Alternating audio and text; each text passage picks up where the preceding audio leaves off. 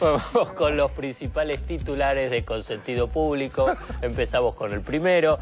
Stornelli quedó afuera del gobierno de la provincia de Buenos Aires. Estamos hablando del ministro de Seguridad bonaerense, Carlos Stornelli, y la verdad que hay que decir que ha sido una gestión muy cuestionada, una gestión que no ha demostrado muchos éxitos. El último gran papelón fue el caso Pomar, ustedes lo recordarán, además del show televisivo, el show amarillo de eh, gran parte de los noticieros y de los medios, e incluso también de los medios gráficos, bueno, también había una responsabilidad del ministro de Seguridad bonaerense, Carlos Estornelli. Además, eh, hay que decirlo que en su gestión le volvió a colocar, volvió a colocar en un lugar central del tema de la seguridad a la bonaerense. Y la verdad que dio marcha atrás con algunas de las reformas que había impulsado León Aslanian en su momento, que obviamente llevan su tiempo. Las políticas de seguridad en la provincia de Buenos Aires requiere tiempo, paciencia para reestructurarla, pero si se vuelve eh, cuando se está avanzando en una reforma se vuelve atrás, en este caso con la bonaerense, bueno, los resultados están a la vista.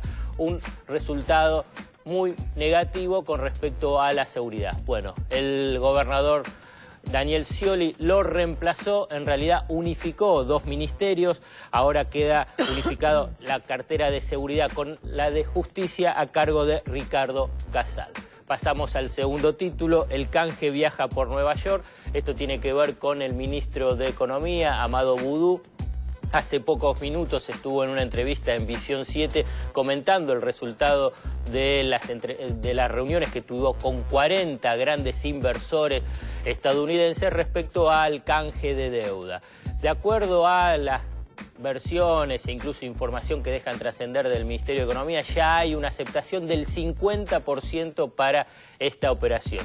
También es cierto que la crisis griega demoró o en todo caso instaló algunos ruidos en esta, en esta operación, por ejemplo en la colocación también de un bono por mil millones de dólares. Pero bueno, en última instancia el canje sigue avanzando. Y por último, estatales de planta transitoria a permanente. Esto después lo vamos a desarrollar con Fede porque habla de los empleados estatales, de la seguridad y de la estabilidad laboral de este amplio grupo de trabajadores.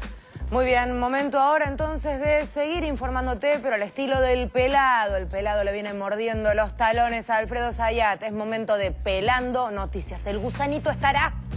No, no va a estar. ¿Cómo no? No lo quiero más, a ese gusano. Llamen, llamen y no, pidan un pedazo, un pedazo de talón de Zayat. Me lo estaba sacando y ahora sí. Ahora sí, Zayat, voy por vos. Bueno, pelando noticias. Eh, me ponen risas grabadas, así es muy fácil. Bueno, eh... Vamos a, con la, primera noticia, reconstruyen el Irizar, es una muy buena noticia. Se calcula que el mes que viene va a volver eh, nuevamente a navegar por la Antártida, este famoso rompehielo. No, no tengo ningún chiste para esta noticia, pero me parecía importante para romper el hielo y empezar. Bueno, Obama designó a... Es un idiota. Es un Es un tonto. ¡Ay, Ah. gusanito! Lo odio, lo odio, Federica lo odio. Está acá por vos, porque vos lo pusiste. Bueno, Obama designó a otra mujer, ¿eh? se trata de Elena Kagan, es el apellido de ella, que era la socia de otra designada, ¿eh? Sonia Sotomayor, eh, en su estudio defendían empresarios y trabajadores, es decir, Sotomayor atendía a los empresarios y Kagan a los trabajadores.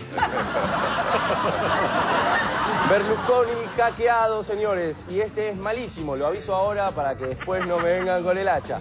Este, directamente malísimo. Vamos a ver, Berlusconi hackeado. Su mujer Verónica Lario le pide el divorcio y se vienen los reclamos de los trabajadores. La verdad que parece un chiste tonto, ¿no? Parece un chiste tonto, pero lo vamos a decir. Berlusconi tiene problemas con Verónica Lario y con Elsa Lario.